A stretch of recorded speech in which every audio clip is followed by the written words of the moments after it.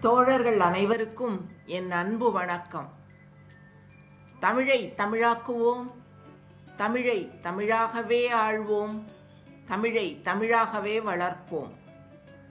புலவர் மா நன்னன் அவர்கள் எழுதிய நல்ல உரைநடை எழுத வேண்டுமா என்ற நூலிலிருந்து ஒவ்வொரு நாளும் ஒரு துளக்கத்தை துலக்க காணலாம்.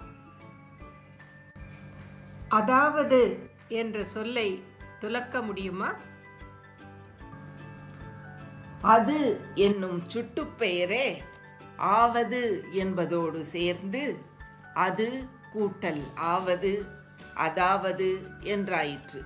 அவ்வாறே அஃது என்பதோடு ஆவது என்பது சேர்ந்து அஃதாவது என்றாகுது.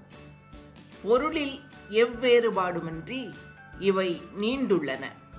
நாளாவட்டத்தில் இது பெருவழக்காகி பல்கிவிட்டது. கால நீட்சியால் அதாவது என்பதற்கு அது எங்கனம் ஏற்பட்டது?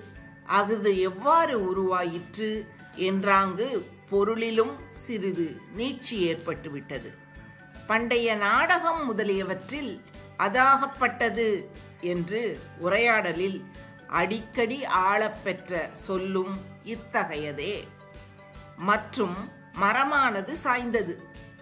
மனிதனாவன் மனிதனானவன் கெட்டுவிட்டான் என்பன போன்ற வழக்கங்களும் ஏற்பட்டுவிட்டது. ஆனவன் போன்றவற்றை உருபற்றதாக கூறப்பட்ட முதல் வேற்றுமைக்கு உருபுகளாக கூறும் வழக்கமும் ஏற்பட்டுவிட்டது. அவ்வழக்கமும் அப்போக்கும் இன்று மறைந்து விட்டமை மகிழத்தக்கது. நன்றி வணக்கம். நாளை மீண்டும் சந்திப்போம்.